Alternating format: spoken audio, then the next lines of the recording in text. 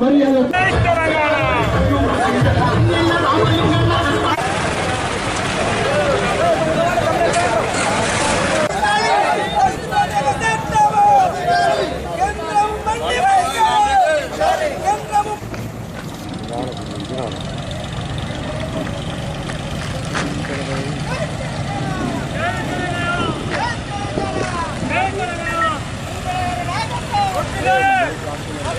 go!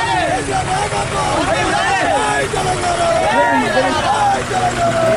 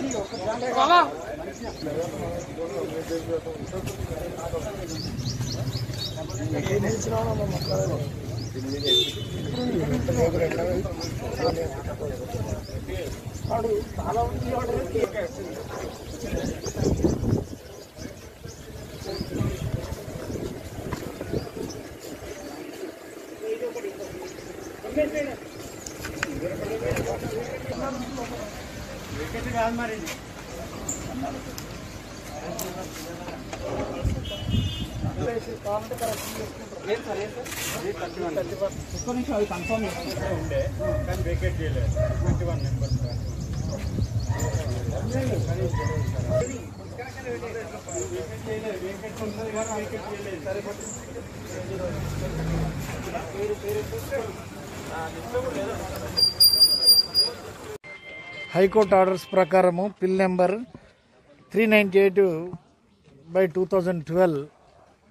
అది two thousand ట్వెల్వ్లో పడ్డది కేసు. ఇది శాస్త్రిపురము కంప్లీట్ రెసిడెన్షియల్ ఏరియా. ఈ రెసిడెన్షియల్ ఏరియాలో బిజినెస్ చేయకూడదు. బిజినెస్ చేయాలనుకుంటే ఓన్లీ కిరాణం స్టోర్లు బ్యూటీ పార్లర్స్ బార్బర్ షాపులు ఆ చిన్న చిన్న షాపులు పెట్టుకోవాలి కానీ ఇండస్ట్రీస్ ఉండొద్దని హైకోర్టు జడ్జెసే వచ్చి ఇన్స్పెక్షన్ చేసి మొత్తం ఇవ్వడం జరిగింది. ఆ తర్వాత రెండు వేల ఇరవై రోజు డివిజన్ బెంచ్ ప్రకారము అన్ని పవర్ డిస్కనెక్ట్ చేయమని ఎలక్ట్రిసిటీ బోర్డు వాళ్ళకు ఆ తర్వాత జిహెచ్ఎంసీ వాళ్ళకు వాళ్ళతో కోఆర్డినేట్ చేయమని అదేవిధంగా పొల్యూషన్ బోర్డు వాళ్ళకు ఆ తర్వాత ల్యాండ్ ఆర్డర్ పోలీస్ వాళ్ళకు అందరికీ హైకోర్టు ఆర్డర్స్ ఇవ్వడం జరిగింది. దాని ప్రకారం ఈరోజు ఇప్పటివరకు ఒక ఇరవై ఐదు పవర్ కనెక్షన్ కట్ చేయడం జరిగింది. ఇంకొక పది పదిహేను ఉన్నాయి అవి కూడా చేస్తాం.